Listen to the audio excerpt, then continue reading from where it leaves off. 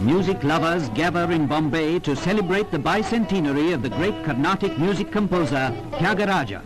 A performance on the Veena opens the celebrations.